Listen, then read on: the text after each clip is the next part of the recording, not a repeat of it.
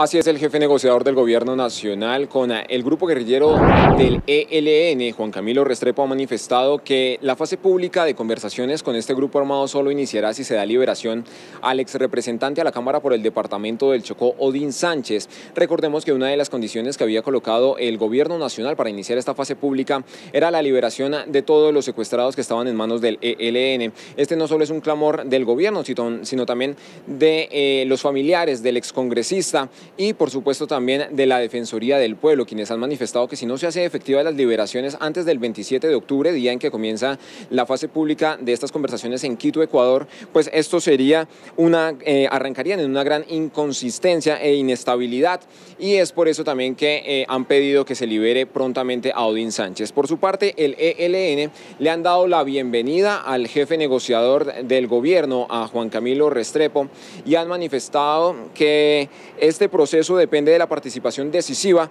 de la diversidad regional y social. También hay que recordar que en los próximos días el gobierno nacional tendrá que entregar la lista de los restantes eh, delegados y también eh, parte de este comité que va a integrar eh, el equipo negociador del gobierno nacional y que acompañarán, por supuesto, a Juan Camilo Restrepo. Esa es la información que nosotros tenemos por el momento desde el centro de Bogotá. Continúen ustedes en estudio. Andrés Moreno, Cable Noticias.